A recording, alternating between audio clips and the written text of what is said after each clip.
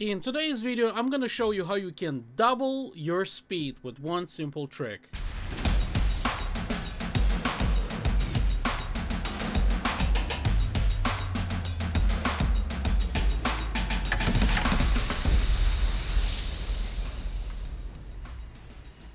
Alright, so here we are inside DaVinci Resolve, and I have a bunch of clips from very old, slow, beaten up hard drive that basically can't even play proper 24 frames a second. As you can see, it's kind of choppy, and basically we can't really work like that. So here's the very simple trick that probably most of you don't know.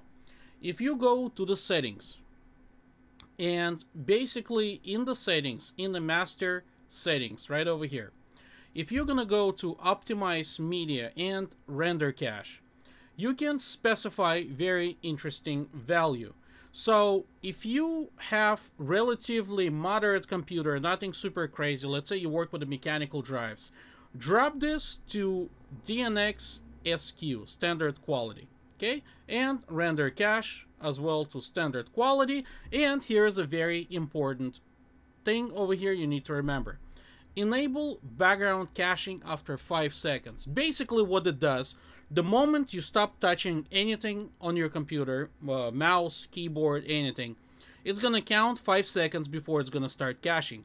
What can you do? You can actually drop it down to 1 and save it.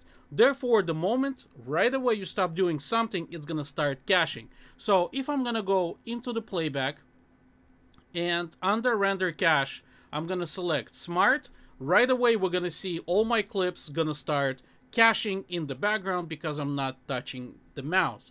What is great about it, that one second is not really too long for system to kick in because even if you're working all day long on a computer, one second will allow you in the background to keep processing those files that way you don't have to sit in front of the computer basically and keep looking at different things. So once this thing complete, we're gonna see that entire thing basically gonna be ready in no time and we can play back in the real time. As we can see here, some of the files already start caching and if I'm gonna click playback, we can see that performance actually delivers the true 24 frames a second without our system hesitating or basically giving any kind of choppy playback, even though the original hard drive is all busted and super slow.